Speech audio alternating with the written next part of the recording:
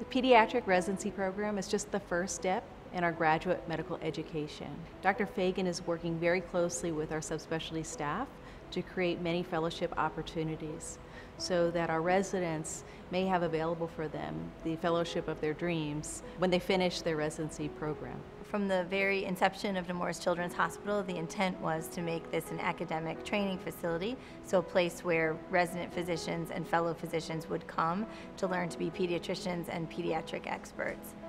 So during the first five years of the pediatric education programs, Nemours will be investing more than $18 million to bring this to reality. This is a huge investment by Nemours Children's Health System and one that I think will make a tremendous difference in the caliber of the residents that we're able to recruit and the um, caliber of our training programs.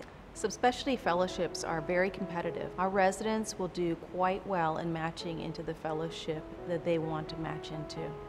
We will provide them with the research and presentation opportunities that they really need to give them that extra edge heading into fellowship.